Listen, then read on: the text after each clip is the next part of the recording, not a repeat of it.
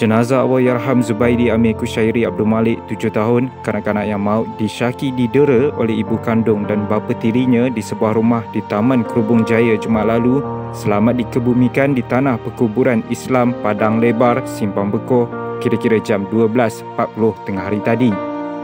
Terdahulu, jenazah dituntut keluarga ibu kandungnya di Jabatan Perubatan Forensik Hospital Melaka kira-kira jam 10.05 minit pagi tadi dan disolatkan di Madrasah Asyakirin sebelum dikebumikan.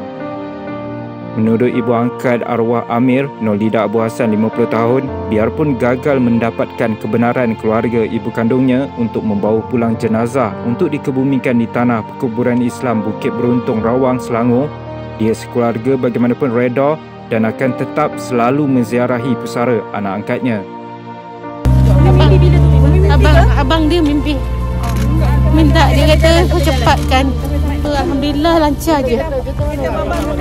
Dan Umi tengok wajah dia fresh tau. Bukan seperti mayat orang dah mati 3-4 hari kan? Tapi muka dia fresh ya amat. Macam dia tidur. Dia kan selalu tidur dengan Umi kan sebelah.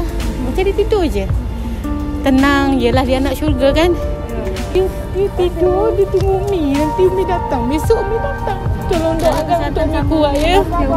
Majlis pengebumian yang dikawal ketat oleh pihak polis itu hanya membenarkan ahli keluarga kandung termasuk nenek kandung dan keluarga angkat arwah manakala pihak media hanya dibenarkan membuat liputan dari luar pagar kawasan perkuburan bagi menghormati permintaan keluarga ibu kandungnya.